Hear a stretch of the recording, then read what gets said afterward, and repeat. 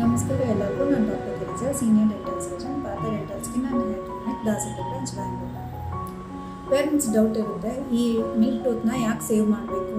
ಹೆಂಗಿದ್ರು ಪರ್ಮನೆಂಟ್ ಈಗ ಬರುತ್ತಲ್ಲ ಅಂತ ಇದು ಮಾಡ್ತಾರೆ.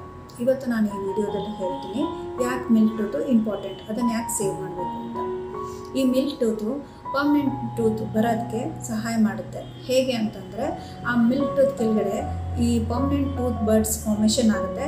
ಮತ್ತು ಆ ಮಿಲ್ಕ್ ಟೂತು ಉದುರೋದ್ಮೇಲೆ ಪರ್ಮನೆಂಟ್ ಟೂತ್ ಆ ಜಾಗಕ್ಕೆ ಬಂದು ಕುತ್ಕೊಳ್ಳುತ್ತೆ. ಈಗ ಮಿಲ್ಕ್ ಟೂತು ತುಂಬ ಹುಡುಕಾಗಿ ನಾ ಹಲ್ಲು ಕೀಳಬೇಕು ಅಥವಾ ಬೇಗ ಉದುರೋಗ್ಬಿಟ್ರೆ ಪರ್ಮನೆಂಟ್ ಟೂತ್ ಏನಾಗುತ್ತೆ ಅಂದರೆ ಒಮ್ಮೊಮ್ಮೆ ಆ ಮೂಳೆ ಒಳಗಡೆ ಇದ್ಬಿಡುತ್ತೆ ರಿಟೇನ್ ಆಗುತ್ತೆ. ಇಲ್ಲ ಅಂತಂದರೆ ಹುಟ್ಟಿದ್ರು, ಹಿಂದೆ ಮುಂದೆ ಹುಟ್ಟುತ್ತೆ. ಆವಾಗ ಮುಂದಕ್ಕೆ ಕ್ಲಿಪ್ ಟ್ರೀಟ್ಮೆಂಟ್ ಹಾಕ್ಕೊಳ್ಬೇಕಾಗತ್ತೆ ಆಮೇಲೆ ಇನ್ನೊಂದು ಏನಂತಂದರೆ ಇನ್ಫೆಕ್ಷನ್ ಜಾಸ್ತಿ ಆದಾಗ ಈ ಪರ್ಮನೆಂಟ್ ಟೀತಿಗೂ ಎಫೆಕ್ಟ್ ಆಗುತ್ತೆ. ಹೀಗಾಗಿ ತೊಂದರೆ ಆಗುತ್ತೆ.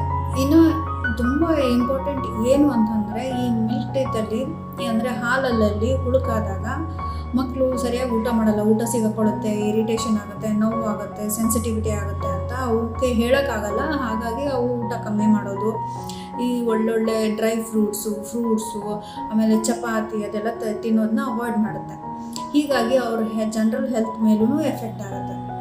ಇದಕ್ಕೋಸ್ಕರ ನಾನು ಹೇಳೋದೇನಂತಾರೆ ಮಿಲ್ಕು ತುಂಬ ಇಂಪಾರ್ಟೆಂಟು ಸೊ ನೀವು ನಿಮ್ಮ ಮಕ್ಕಳನ್ನ ಒಂದ್ಸಲಿ ಡೆಂಟಿಸ್ಟ್ ಹತ್ರ ಕರ್ಕೊಂಡೋಗಿ ತೋರಿಸಿ, ಆಮೇಲೆ ಹಲ್ಲು ಉಳುಕಿದೆ ಅಂತ ನಾನು ಪ್ರೀವಿಯಸ್ ವೀಡಿಯೋದಲ್ಲಿ ಹೇಗೆ ಕಂಡುಹಿಡಿಯೋದು ಅಂತ ಹೇಳಿದ್ದೀನಿ. ಆ ನೋಡಿ ಏನಾದರೂ ಕಪ್ ಚುಕ್ಕಿ ಊಟ ಸಿಗಾಕೊಳ್ತಾ ಇದೆ ಅಂತ ಅಂದರೆ ನೀವೇ ಚೆಕ್ ಮಾಡ್ಬೋದು. ಡೌಟ್ ಇದ್ದರೆ ಡೆಂಟಿಸ್ಟ್ ಹತ್ರ ಬಂದು ತೋರಿಸ್ಕೊಳ್ಳಿ. ಈ ವಿಡಿಯೋ ತುಂಬ ನಿಮಗೆ ಹೆಲ್ಪ್ಫುಲ್ ಆಗಿದೆ